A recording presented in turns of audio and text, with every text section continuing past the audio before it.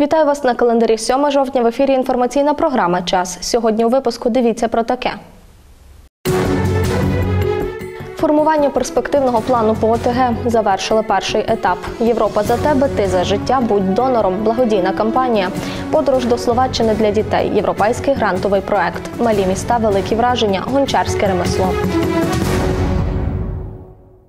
У Києві на Майдані Незалежності проходить акція протесту проти формули Штайнмаєра. Рух опору капітуляції було ініційовано після того, як 1 жовтня Україна, за словами президента Володимира Зеленського, узгодила на переговорах у мінську текст так званої формули Штайнмаєра. За словами Зеленського, формула передбачає схвалення в Україні тимчасового закону про особливий статус Донбасу, який стане постійним за умови, що ОБСЄ визнає місцеві вибори на цих територіях демократичними. Як заявив президент, у новому законі не буде перейдена жодна червона лінія і не буде ніколи жодної капітуляції. Після того, як низка українських партій, активісти та громадські діячі виступили під час масових акцій з різкою критикою цієї формули, глава держави записав відеозвернення і наголосив, що ніколи не здасть Україну. Минулого року для облаштування туалетів у школах Закарпаття виділено понад 44 мільйони гривень. Таку цифру назвали видання УНН із посиланням на Закарпатську ОДА. Як розповіли у департаменті освіти та науки Закарпатської ОДА, розпорядженням Кабміну від 18 грудня 2018 року в Закарпатській області виділено з державного бюджету місцевим бюджетом 44 мільйони 31 тисячу гривень для забезпечення належних санітарно-гігієнічних умов у приміщеннях закладів загальної середньої освіти області.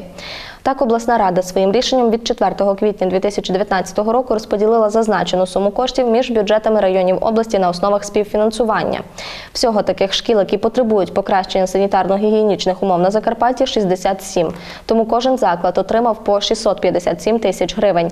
Також у департаменті освіти додають, що на кінець вересня на Закарпатті розпочали облаштування 25 внутрішніх туалетів, з яких вдалося закінчити лише 4.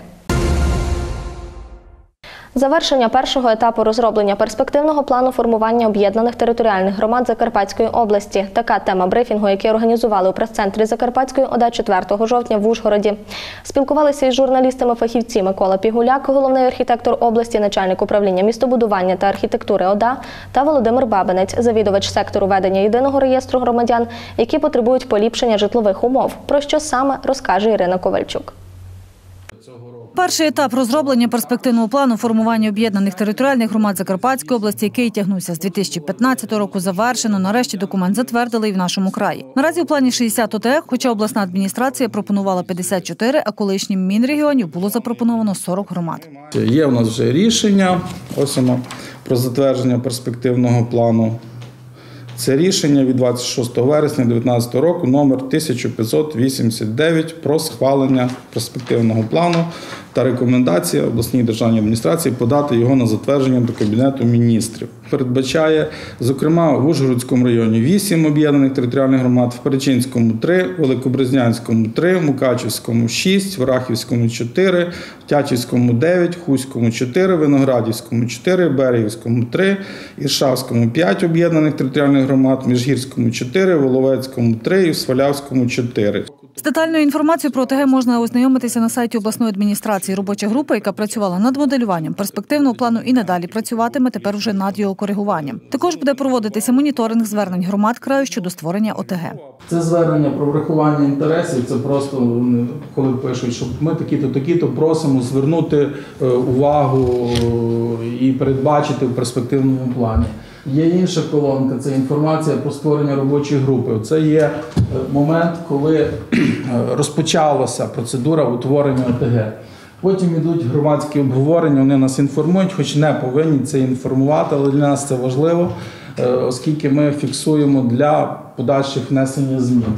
Зміни будуть вноситися орієнтовно до лютого 2020 року, коли планують внести зміни до Конституції України про таку адміністративну одиницю, як об'єднані територіальні громади. Подають проекти рішення е, без е, печатки чи підпису, тобто немає достовірності того документу. Ну, от такі от бувають технічні такі помилки. Інколи прописують е, в назві об'єднана територіальна громада. На жаль, ще не внесені зміни до Конституції, і немає такої одиниці, як об'єднана територіальна громада. Приділили увагу і програмному забезпеченню АРГІ, за допомогою якого розроблений містобудівний кадастр Закарпатської області. Це є сучасна технологія. В цій програмі е, є кадастри сусідніх територій, сусідніх держав. От як бачите, тут у нас е, фіксуються, ну, щоб ви глибину моніторингу зрозуміли, об'єднані територіальні громади з синім темним, які, е, як там у нас, які є наявні. Є об'єднані територіальні громади, які очікують на призначення перших виборів. Це в ЦВК ми їх подали. Об'єднані територіальні громади, які е, отримали висновок про відповідність проєктів рішень Конституції. Другий етап доопрацювання перспективного плану паспортами громад і подання його згідно з чинним законодавством на затвердження Кабміну, а далі реалізація. 99-ка зіткнулася із маршруткою. Аварія трапилася 6 жовтня на дорозі у селищі міського типу Кольчино близько 15-ї години.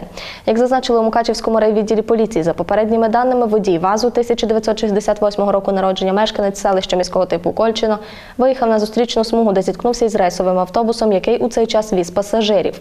Внаслідок зіткнення у ДТП постраждав водій 99-ки та пасажирка автобусу 1958 року народження, мешканка села Бистриця. Постраждалі отримали незначні травми. Відкрито кримінальне провадження за частиною першої статті 286 Кримінального кодексу України, тобто порушення правил безпеки дорожнього руху. Лоб у лоб зіткнулися Volkswagen та Land Rover. Про автопригоду у мережі Facebook повідомив очевидець. В обласному центрі Закарпаття на розі вулиць Яна Гуса та Собранецької зіткнулися автомобілі Volkswagen, Golf та Range Rover. В результаті аварії Range Rover влетів у паркан приватного будинку. Обидва автомобілі зазнали значних технічних пошкоджень. Як інформує автор світлин, постраждалих доправили в лікарню. З'явились нові подробиці аварії. В результаті зіткнення постраждало чотири людини. Мова йде про водія Volkswagen та трьох його пасажирів, двоє з яких малолітні діти. Це дівчинка 2014 року народження та хлопчик 2011 року народження. Двох перевірили лікарі та відправили додому на амбулаторне лікування. Ще двоє жінка та хлопчик лишились на стаціонарному лікуванні. Водій Rover не постраждав. Церемонія нагородження переможця кампанії з донорства крові Європа за тебе ти за життя. Будь донором відбулася 4 жовтня у Закарпатській обласній станції переливання крові в Ужгороді. Шляхом жеребкування 26 вересня 2019 року визначили одного з сотні ужгородців, які долучилися до акції та здали крові з 18 по 20 вересня. Як це було, дивіться у сюжеті.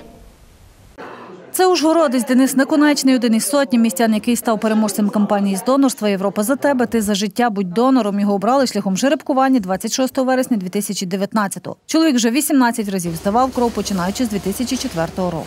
Процес займає десь ну, всіма нюансами десь хвилин 40-50, це якщо звичайну кров здавати. Е, не болісно, не больніше, ніж дати кров на аналіз з вени, якщо хтось здавав. Відчуття, ну, особисто в мене завжди було піднесення, так ніби чашку кави випив. Тобто чисто позитивні відчуття навіть в емоційному стані, моральному, фізичному, тобто ніякого негативу нема. Допомогти комусь е, в його складній ситуації. Якщо це дитина, то допомогти їй там, не знаю, зустріти новий рік. Е, Чи новий рік свого життя. Якщо це дорослий, то допомогти йому теж в складній ситуації вилікуватись. Доки буду мати можливість, е, здоров'я, бажання, буду допомагати е, людям в цій справі. Гірський велосипед у подарунок отримав переможець акції, яка проходила протягом трьох днів 18-20 вересня в Ужгороді. Нам ці акції дуже допомагають, тому що ми е, зазвичай працюємо знаєте, з куліс, що заготовляємо, то і видаємо. Е, Термін придатності крові дуже малий, від 30 до 40 діб, і тому ми не можемо заготовляти її у дуже великій кількості, але і так напряжно працювати в такій напрузі, е, що якби так, так би мовити, з куліс також дуже важко. Беруть у нас багато. У нас зараз е, навіть із цією кров'ю така напружена ситуація. Так що я ем, чекаю молодих людей. Акція міжнародна організована в рамках святкування Днів Європи 2019 Сучавським регіональним бюро транскордонного співробітництва спільної операційної програми Румунія Україна 2014-2020. В результаті понад тисяча жителів здали кров дев'яти містах, чотирьох українських, Ужгороді, також Чернівцях, Одесі та Івано-Франківську, і п'ятьох в Румунії Сучава, Ботошани, Баямари, Сатумари і Тулча. А дев'ять переможців отримали такі ж байки. Румунія Україна висловила таку ідею. Це така гуманітарна акція, яка спрямована на те, щоб спасти людське життя, щоб врятувати і допомогти людям, і має соціальне спрямування. Ми вітаємо нашого переможця, оскільки це було таке як заохочення до того донорства крові і до тої долучення акції транскордонної одночасне, яка проводилася і в Румунії, і в Україні. І це такий подарунок від програми. Володимир Навроцький представляв її.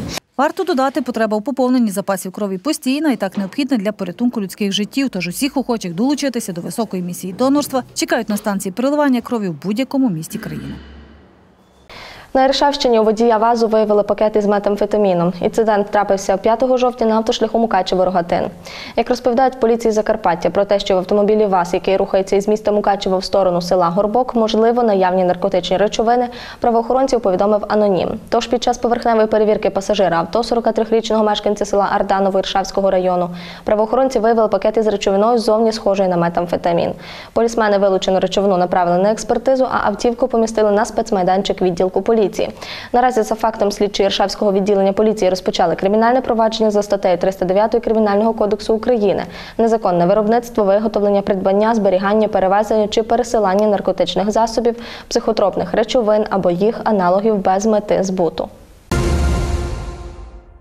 Туркеня з дитиною намагались проїхати на потязі ЧОП Захонь до Відня, використовуючи підроблений паспорт. Як зазначають прикордонники, під час перевірки документів у них виникли підозри щодо їх дійсності. Як згодом вияснилось, паспорти ніби громадян Греції були підроблені. У затриманих виявили ідентифікаційні картки громадян Туреччини. Підроблені паспорти вилучили та передали співробітникам слідчо-оперативної групи Нацполіції. Правопорушників буде притягнуто до відповідальності за спробу незаконного перетину державного кордону України. Йдеться у повідомленні. Відкрито провадження за частиною 4 статті 358 Кримінального кодексу України. Підроблення документів, печаток, штампів та бланків їх збут використання підроблених документів. Двох тютюнових контрабандистів затримали на вихідних прикордонники відділу ділове Мукачівського загону. Перевіряючи інформацію про можливу протиправну діяльність, прикордонний наряд побачив поблизу річки Тиса, якою пролягає кордон з Румунією, невідомих осіб з пакунками на плечах. Помітивши прикордонників та зрозумівши, що їх викрито, зловмисники покидали свої ноші та спробували втекти.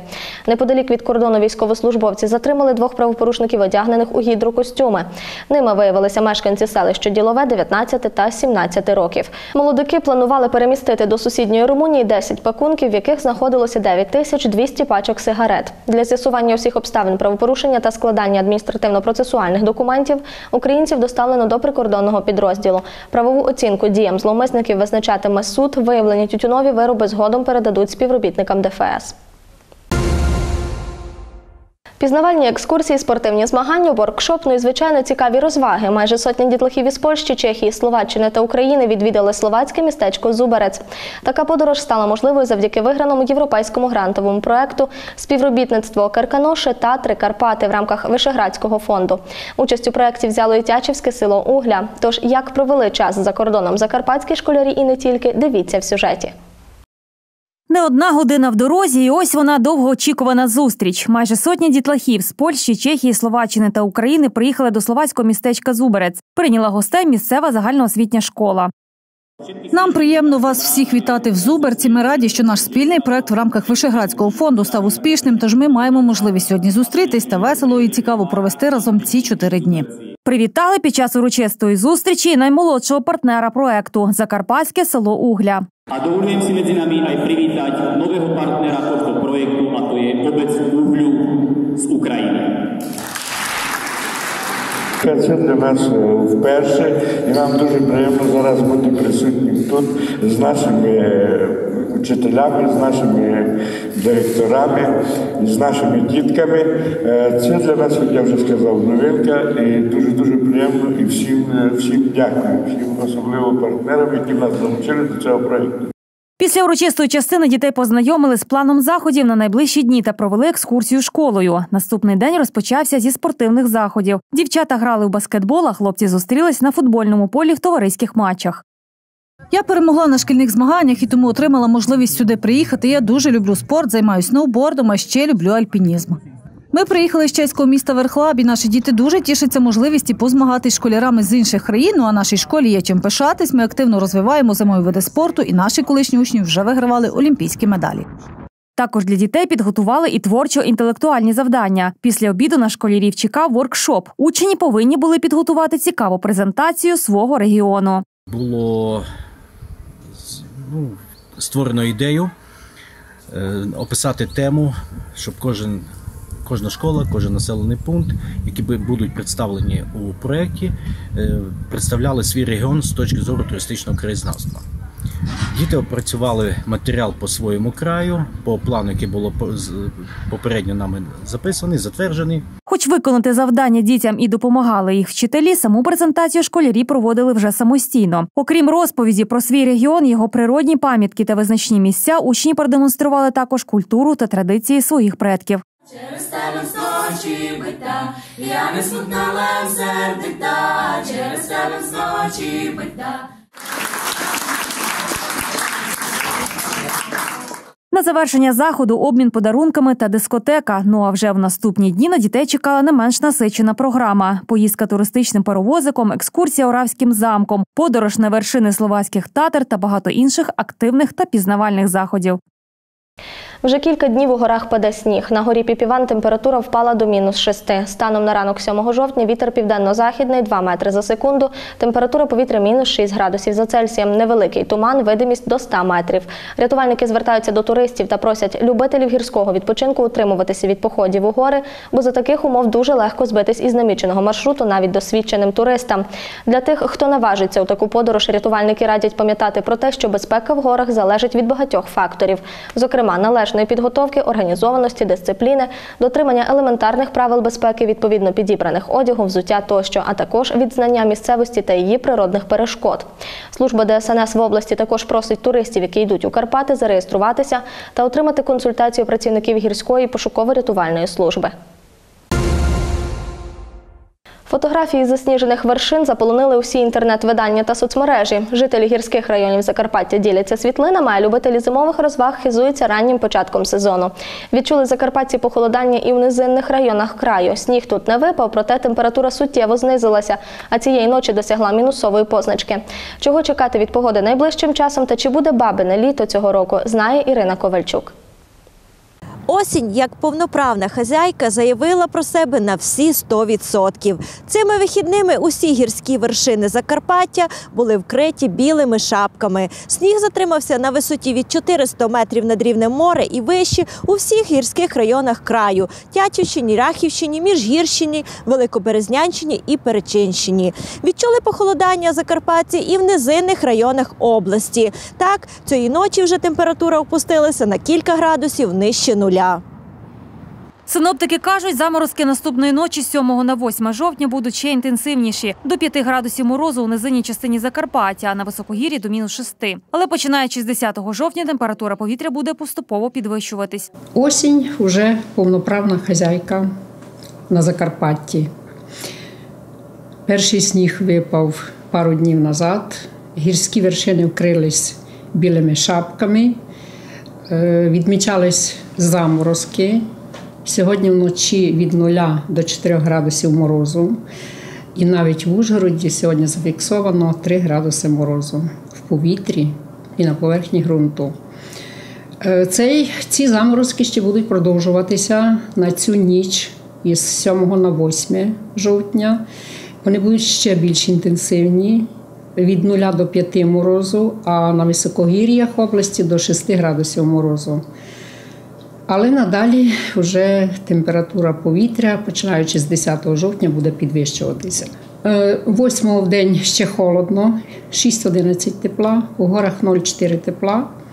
9-го вже температури будуть сягати до 15 тепла, і надалі 10-го 16 і далі 17 тепла. І починаючи з 13 жовтня, ми вже очікуємо температури повітря до 20, навіть на низинах області до 24 градусів тепла. Ну, темп... Нічні температури будуть в межах 3-8, 5-10, залежно від того, наскільки буде е, з'являтися хмарність на небі і наскільки будуть сильні прояснення. Бабине літо буде, запевняють гідрометеорологи, починаючи з цієї суботи. З 12 жовтня. З 12 жовтня на тиждень очікуємо теплу, по, по літньому навіть теплу погоду.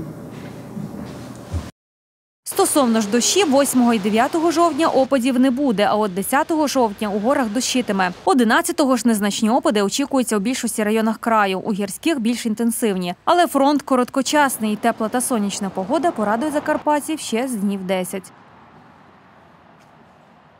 В рамках проекту Малі міста великі враження для дітей Ужгородщини провели майстер-класи з давніх ремесел, таких як гончарство, різьбярство та ковальство. Про те, наскільки зараз популярні такі заняття та про перспективу розвитку цих ремесел на Закарпатті, дивіться далі. Сотні дітей з Ужгородського району днями мали змогу познайомитися із давніми ремеслами. У селі Кам'яниця в рамках проекту Малі міста великі враження попрацювали із митцями та більше дізналися про мистецтво гончарства.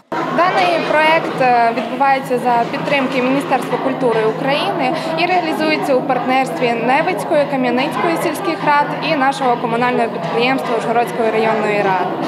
Сьогодні ми проводимо майстер-класи з ремісництва для діточок шкільного віку Ужгородського району. Навчали такому ремеслу дітей кращі фахівці Закарпаття, і вони переконані, що будь-яка творча справа виховує людину і навчає чомусь новому. По-перше, уважність е, до матеріалу. Так, зрізаємо з тобою. Е, Можна другий зробити? Уважність до того, що це е, не тільки просто земля, і що, що є повагу до землі, фактично, і повагу до матеріалу, до е, якихось звичайних речей, які ми просто не помічаємо. І тут е, ну, звичайна річ може стати чимось цікавим, красивим. Цікаво, що молодь навіть знає історію такого ремесла. Гончарством займалася трипільська культура. Е, Вони робили собі доми з глини, пачки, е, робили глечки з різні посуду. До вподоби гончарство і дівчатам, і хлопцям. Тут можна розслабитися мені. Да, чуть-чуть розслабитись можна. Ті школи. Да, це і все. Я зараз роблю дом. Тут от двері. Ага, що в ньому вже є? Ну, сталося зробити стіну і кришу. Такий майстер-клас проводиться недаремно, адже скоро тут запрацює творча майстерня. Е, Завдяки цьому проєкту ми маємо змогу придбати і гончарний круг, і всі прилади, які що займатися ковальством, різьбярством. Тому е, будемо мати матеріальну базу. Є фахівці, як ви бачите, які будемо залучати. Поки що вони з міста Ужгорода, але будемо шукати і своїх місцевих мешканців.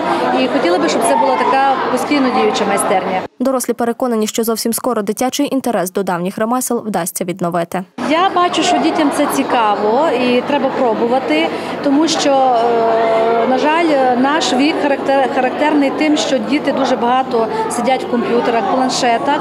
Тому така жива робота е, руками, де вони розвивають свою сенсорику, розвивають уяву, знайомляться з традиціями минулих віків. Тому буде для них цікаво. В озері на Закарпатті виловили хижу піранью. Про знахідку у мережі Фейсбук розповів Річард Попович. Зі слів користувача, хижу рибу зловили у Виноградові в місцевому озері. Зоологи розповідають, що риб могли випустити їх власники, однак заспокоюють, що хижаки в наших природних умовах не зможуть вижити.